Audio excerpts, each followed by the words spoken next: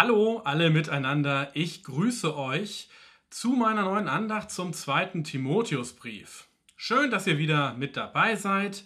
Wir starten heute mit dem zweiten Kapitel unseres Briefes und wir schauen uns dort mal die ersten beiden Verse an.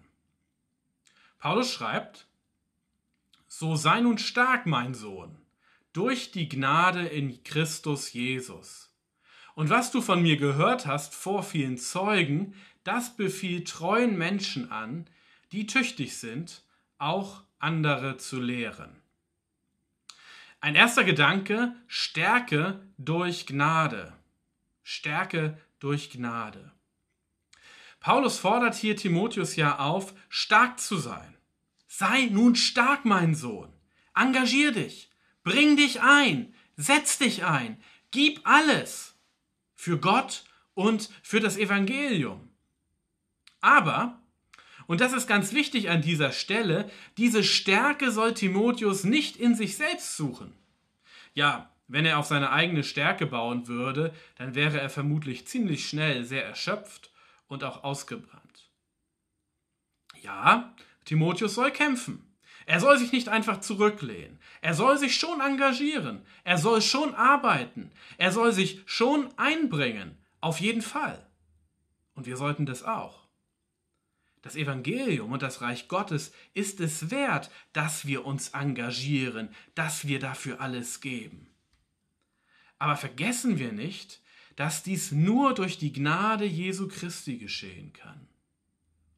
Stärke durch Gnade ist echte Stärke. Denn Stärke durch Gnade ist nicht begrenzt auf meine eigene Leistungsfähigkeit oder auf meine eigene Ausdauer. Stärke durch Gnade ist unbegrenzt, weil ja, weil die Gnade Jesu Christi ja unbegrenzt ist.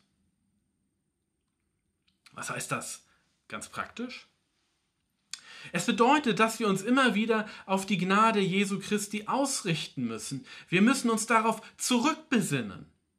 Durch die Gnade Jesu sind wir ja nicht nur erlöst, das ist ja nicht nur ein einmaliger Akt irgendwo da hinten in unserer Vergangenheit, der dann keine Bedeutung mehr für die Zukunft hat.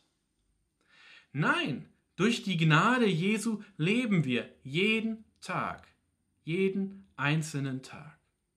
Es ist Gnade dass wir die Stärke hatten, zum Beispiel für die Aufgaben, die wir gerade eben noch erledigt haben, was auch immer das gerade bei dir war. Es ist Gnade, dass du die Stärke dazu hattest. Es ist Gnade auch, wenn wir gleich noch die Kraft für die nächsten Dinge haben. Hast vielleicht noch irgendwas auf der To-Do-Liste. Es ist Gnade, wenn du das gleich tun kannst. Machen wir uns das klar. Wir sind abhängig von Gottes Gnade. Wir leben von seiner Gnade. Und als seine Kinder dürfen wir ihn auch darum bitten, dass seine Gnade uns Stärke geben möge. Bitten wir ihn doch darum, dass er uns durch Gnade Stärke geben möge. Ein zweiter Gedanke, Ausbreitung durch Multiplikation. Ja, das Gute muss weitergegeben werden, so könnte man auch sagen. Ich fange mal an mit einer kleinen Geschichte. Ich glaube, dass die meisten von euch die wahrscheinlich schon mal gehört haben. Das ist diese Geschichte von dem Schachbrett und den Reiskörnern. Nach dieser Legende durfte der Erfinder des Schachspiels sich eine Belohnung vom König für diese geniale Idee wünschen. Und scheinbar bescheiden äußerte er, dass der König doch auf das erste Schachfeld ein Reiskorn legen solle, auf das zweite Schachfeld dann zwei Körner, auf das dritte Feld vier Körner, auf das vierte Feld dann acht Körner, immer so weiter, bis dann alle 64 Felder dieses Schachbretts ähm, berücksichtigt werden. Der König, er fühlte sich gekränkt, weil er gar nicht ahnte, welchen Ausmaß dieser Wunsch ja annehmen würde, wie groß dieser Wunsch eigentlich war. Denn tatsächlich, das ist der Clou an dieser Geschichte, tatsächlich müssten auf das letzte Feld, auf das 64. Feld des Schachbretts, müsste man über 9 Trillionen, das ist eine Zahl mit 18 Nullen, über 9, 9 Trillionen Reiskörner legen. Eine unvorstellbar große Zahl. Und insgesamt würde man für alle Schachfelder sogar über 18 Trillionen Reiskörner brauchen.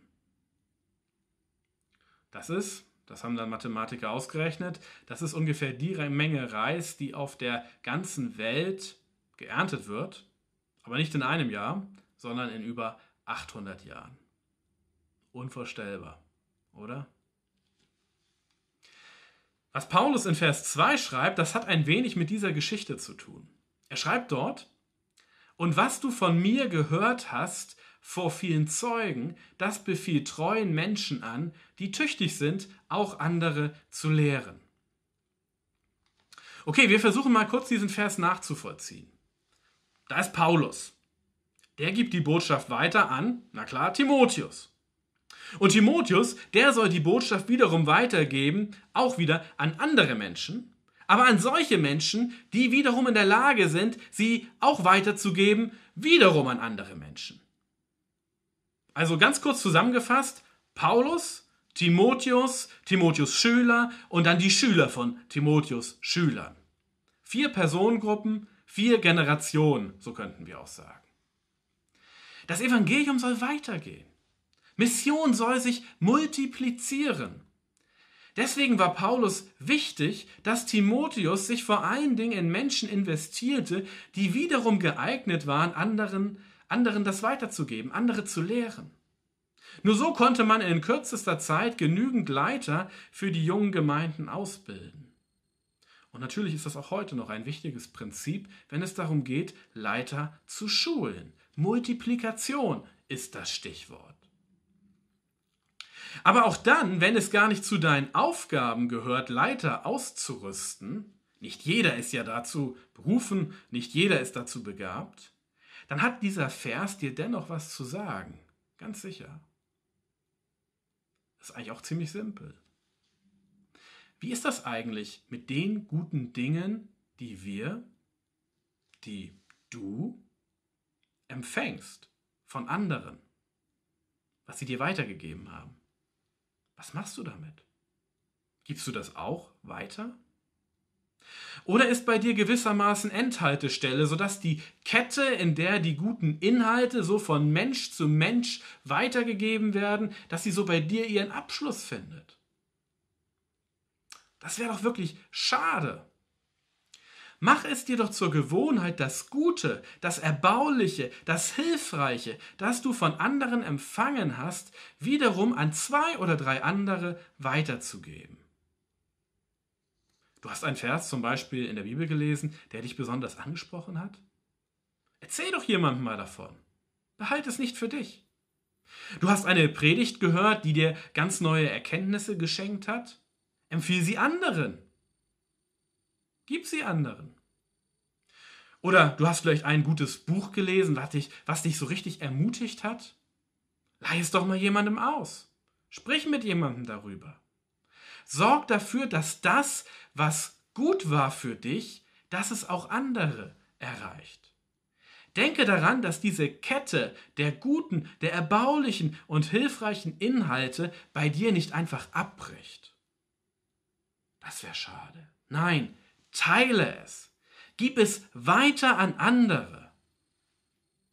Übrigens, ich glaube, in Zeiten von Social Media, WhatsApp und anderen Dingen, da ist das doch eigentlich so einfach geworden wie noch nie. Gute Dinge weitergeben, sie teilen. Und jetzt kommt noch etwas Zweites, was dieser Vers dir auch zu sagen hat. Geben wir doch die Nachricht an andere weiter, das Weitergegebene selbst weiterzugeben. Haben wir verstanden? Geben wir doch auch die Nachricht an andere weiter, das Weitergegebene selbst weiterzugeben. Versuchen wir hier andere mit ins Boot zu nehmen, sie auch dafür zu gewinnen. Ne? Man kann ja sagen, wenn dies für dich hilfreich war, dann gib es doch weiter an zwei, drei andere, von denen du glaubst, dass es für sie auch hilfreich wäre. Was wir brauchen, das ist eine Kultur des Weitergebens, eine Kultur der Multiplikation. dass es uns selbstverständlich wird, Gutes und Hilfreiches, Erbauliches an andere weiterzugeben. Denken wir nochmal an die Geschichte von den Reiskörnern und dem Schachbrett. Sie zeigt uns, was für ein gewaltiges Potenzial in der Multiplikation liegt. Geben wir das Gute und Erbauliche doch weiter, damit das Wort Gottes die ganze Welt erreicht.